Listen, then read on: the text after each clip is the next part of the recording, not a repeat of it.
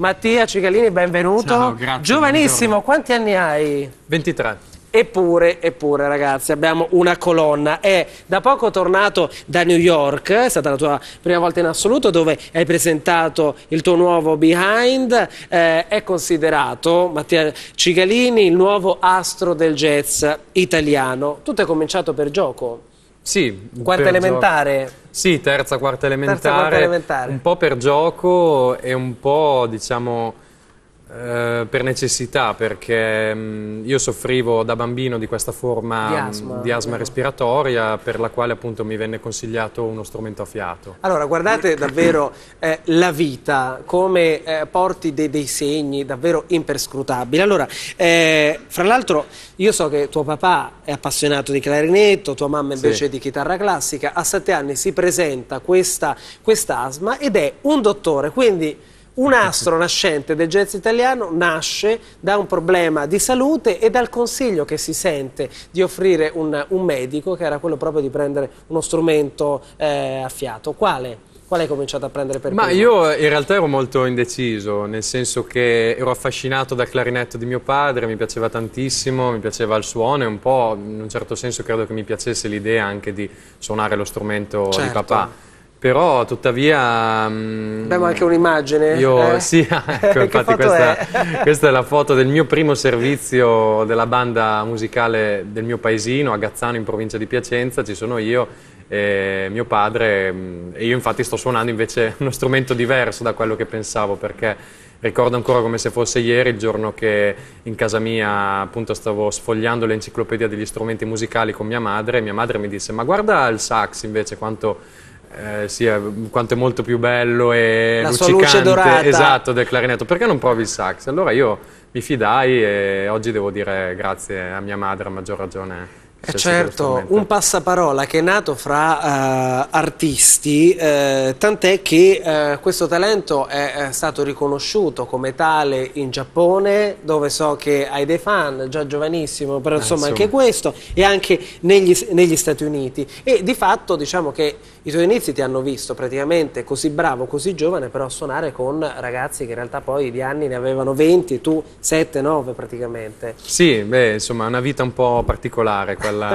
quella del musicista perché cresci un po' prematuramente, ti trovi a doverti plasmare molto più in fretta di altri come individuo perché insomma c'è il discorso del palcoscenico, del contatto con tante persone e che è un po' anche il discorso affascinante di questa certo. vita perché eh, comunque la musica ti, ti catapulta immediatamente nella, nell'arte degli incontri. Ecco, ad esempio, a proposito di incontri, questo è un bellissimo incontro che è nato proprio uh, due settimane fa a New York uh, con Francisco Mela, che è un batterista tra i più famosi in assoluto del pianeta, e Peter Slevov, che è un, un altro contrabbassista, entrambi risiedono a New York e ci siamo incontrati nel Bronx a fare una, una session di prove eh, che è stata molto molto proficua perché adesso loro faranno parte del mio nuovo trio che appunto ho battezzato Mattia Cicalini New York Trio. Ah, fantastico. Sì. Senti, fra l'altro io so che era proprio durante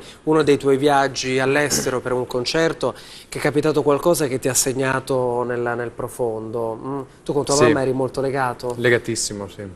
Ero legatissimo e che dire, mi trovavo in Francia per un concerto e mm, ho avuto fin dalla mattina che mi sono svegliato dopo il concerto una sensazione stranissima, come se stesse capitando qualcosa di orribile. E, ehm, non so, non, non, potrei spiegare a parole quella sensazione, però sono sicuro che, che tutto era fuorché casuale. Infatti poi tornando a casa io mi sentii telefonicamente con lei nel tragitto, ma quando arrivai proprio nella, nella via di casa mia trovai le ambulanze, tutto quanto e mia madre aveva avuto un infarto assolutamente inaspettato perché godeva di ottima salute, aveva soltanto accusato un mal di schiena e il medico non aveva saputo riconoscere questi sintomi di, di preinfarto, invece che dire, la vita è questa e bisogna essere uomini secondo me, andare avanti e cercare insomma, la forza necessaria per, per trarre Tu sei comunque... stato forte, so che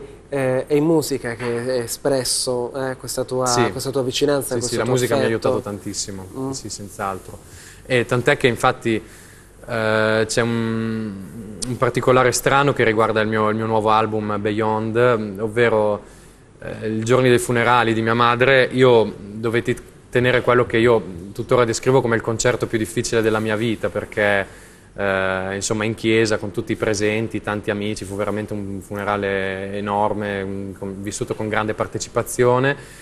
Io volli comunque improvvisare qualcosa, diciamo, davanti, davanti a tutti i presenti e ne scaturì una melodia abbastanza forte, talmente forte che me la ricordai nelle, settima, nelle, settimane a seguire e ne estrapolai un brano e questo brano appunto io lo intitolai Beyond anche perché significa al di là di, sì, oltre, oltre, e quindi chissà, non so dove, però io penso che sia una dimensione che, che esiste e quindi ho voluto proprio dedicare il mio nuovo album Beyond e, ed è proprio questo il brano che ci farei ascoltare questa, sì, questa mattina. Sì, sì, Quindi pensate cosa c'è dentro il cuore eh, di un ragazzo dietro le note che stiamo ascoltando. Si prova. Prego. Grazie.